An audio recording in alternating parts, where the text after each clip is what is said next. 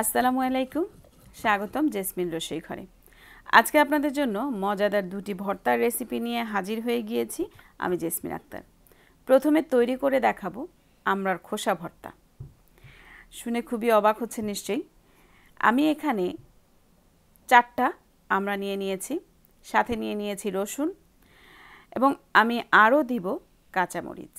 এই তিনটি উপকরণ দিয়ে আমি ভর্তাটা তৈরি করব। খুবই মজা এই ভর্তাটি। আপনাদের অবশ্যই পছন্দ হবে, এটা আমার বিশ্বাস। আমি প্রথমে আমরা থেকে খোসাগুলো ছাড়িয়ে নিচ্ছি। ঠিক এভাবে করে আমি খোসাগুলো ছাড়িয়ে নেব পুরো আমরা থেকে। আপনাদের হয়তো প্রশ্ন জাগতে পারে যে, এত কিছু থাকতে আমরার খোসা কেন? আসলে আমরার খোসা দিয়ে অনেক কিছুই তৈরি করা যায়। আমি অনেক সময় আচার তৈরি করি। খুবই মজাদার এই আমরার খোসার আচারটিও। ভর্তাটার ভিতরেও একটা অন্যরকম টেস্ট থাকে, অনেকটা চাটনি চাটনির ভাব। আপনারা খেলে আপনাদের পছন্দ হবে। আমি প্রথমে কাঁচামরিচগুলোকে ভেজে নিচ্ছি হালকা তেলে, এরপরে রসুন। দুটোকে একসাথে টেলে নিব, যেটাকে সামান্য তেলে, আমি এটা টেলে নিব বা তেলে নিচ্ছি। আপনারা আপনাদের পছন্দ মতো ঝাল ব্যবহার করতে পারেন। আমি এখানে একটু স্পাইসি করেই ভর্তাটা করব, এই জন্য খুব বেশি কাঁচামরিচ নিয়ে নিয়েছি। এভাবে কাঁচামরিচ এবং রসুনটাকে ভেজে নিয়ে বা টেলে নিয়ে যেটাই বলেন টেলে নেওয়া অবশ্য আমরা বুঝি যেটা তেল ছাড়া। এরপর সেই তেলের ভিতরেই, বাকি যে তেলটা থাকে এটার ভিতরে আমি আমরার খোসাগুলো দিয়ে বাদামি বাদামি করে একটু ভেজে নিব। চুলার আঁচটা অবশ্যই মিডিয়াম থেকে লো হিটের মাঝামাঝি থাকতে হবে। এবার আমি পাটায় বেটে নিচ্ছি।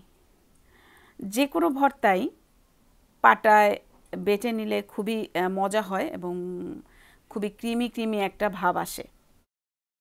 এজন্যই পাটায় বেটে নেয়া। এবার দিয়ে দিচ্ছি লবণ। লবণ আমি এখানে হাফ চা চামচ ব্যবহার করেছি। লবণ যার যার স্বাদ মতোই ব্যবহার করলে বেশি ভালো। এবার পুরো উপকরণগুলো খুব ভালো করে আমি বেটে নিচ্ছি। তৈরি করে ফেলেছি আমরার খোসার ভর্তা। আশা করি আপনাদের ভালো লেগেছে। এরপরে তৈরি করে দেখাবো আরও একটি ভর্তা, সেটাও খুব মজাদার ভর্তা। পাকা পেঁপের বিচি ভর্তা।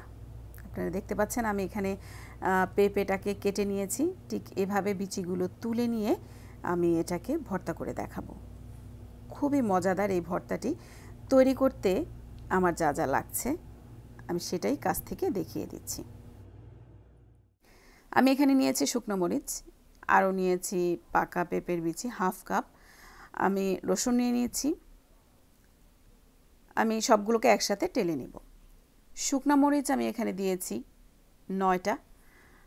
নয়টা শুকনো মরিচ আমি হাফ কাপ পেঁপের বিচির জন্য নিয়েছি। যে যেরকম ঝাল পছন্দ করেন সেভাবে নিয়ে নেবেন। আমি শুকনো মরিচ টেলে নিয়ে এরপরে রসুনটাকেও টেলে নিব। একে একে তিনটা উপকরণই টেলে নিব।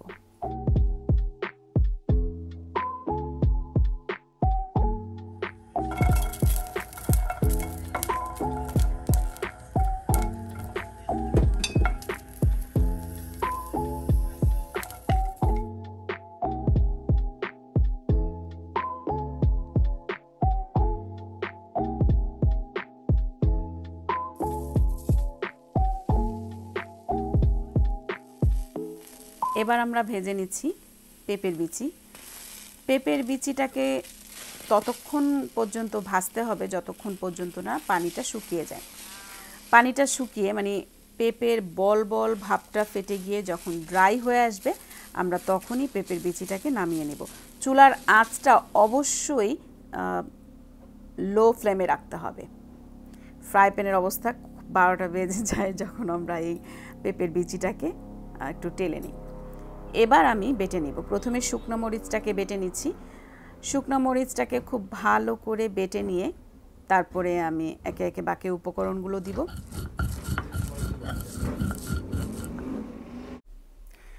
মরিচগুলোকে এভাবে ভালো মতন বেটে নিয়ে এরপরে আমি এর ভিতরে ভেজে রাখা পেঁপের বিচিটাকে দিয়ে দিচ্ছি।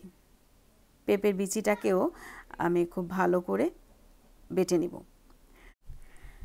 আমরা অনেকেই হয়তো বা অবাক হব যে পেঁপের বিচিটাই কেন। আমরা যারা ভর্তা প্রিয় মানুষ, আমরা অনেক সময় অনেক রকমের ভর্তা খেয়ে থাকি, অনেকে লাউয়ের বিচিও ভর্তা করে খেয়ে থাকি। এই ভর্তাটার টেস্ট কেমন সেটাও হয়তো আপনাদের ভিতরে প্রশ্ন থাকতে পারে। যারা কালিজিরা ভর্তা এবং সরিষা ভর্তা খেয়েছেন, তাদের আশা করি এই ভর্তাটা খুবই ভালো লাগবে।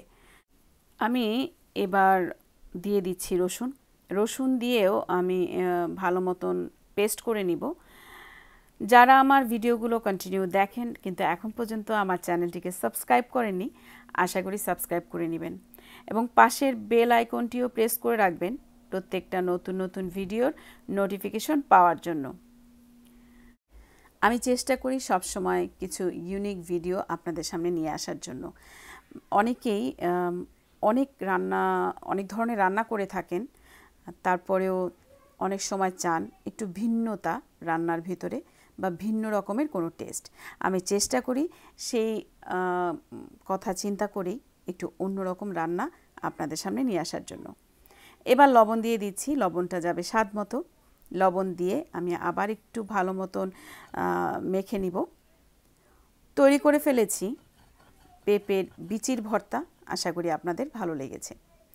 যদি ভালো লেগে থাকে, তাহলে অবশ্যই আমার চ্যানেলটিকে লাইক করবেন, শেয়ার করে অন্যকে দেখার সুযোগ করে দিবেন, সাবস্ক্রাইব করে পাশের বেল আইকনটিও প্রেস করে রাখবেন নতুন নতুন ভিডিও নোটিফিকেশন পাওয়ার জন্য।